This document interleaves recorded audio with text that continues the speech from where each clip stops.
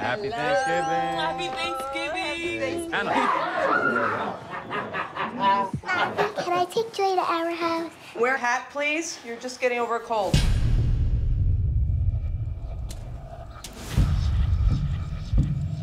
Where are your sisters? I can't find them. Anna? Joy? I checked the entire house. They're not here.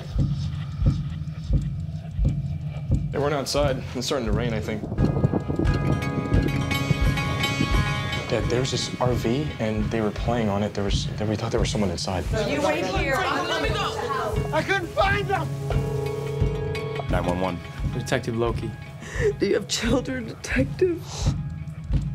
I'm gonna find your daughters. Caller reported an RV was parked at a rest stop off Route 46. Show me your hands! Where'd you put those girls? Where are they?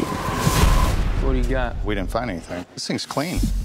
That boy has never been in trouble a day in his life. They're letting him go. What? The police said they're letting him go today. Why aren't you sending someone out to go arrest this guy? Well, he has the IQ of a 10 year old. There's no way he could abduct two girls and then make them disappear. Maybe he wasn't on his own. We're considering all possibilities. I don't think you are considering all possibilities. Just let me do my job. Four days have passed since Anna Dover and Joy Birch were last seen by their families. I have nine level three offenders living within a 10 mile radius. Keep knocking on doors. Mind if I take a look around? Why don't you tell me his name? He said he took them. Did he say he was with anybody? We found something.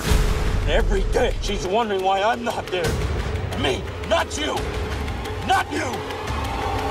But me! What in the world did you do? Someone has to make him talk, or they're gonna die.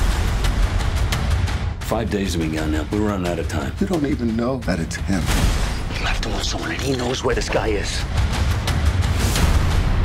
Why aren't you telling me? This ain't right. Why? This guy's a fake. The girls are still out there.